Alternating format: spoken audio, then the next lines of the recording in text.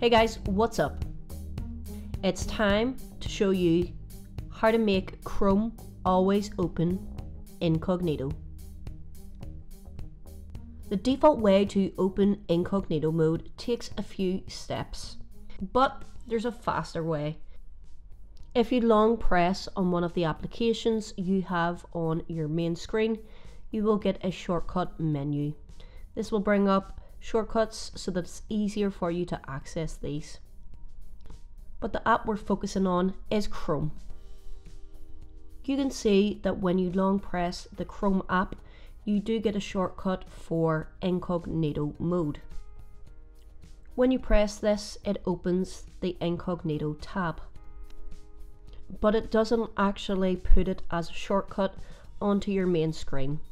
So what you will need to do is long press on the Chrome application and then long press on the incognito tab and then you will see that it gives you a pop-up to put onto your screen and this will allow you to have a shortcut for the incognito tab.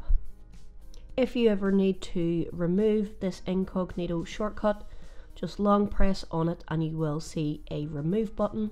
Tap on that and that will remove the shortcut.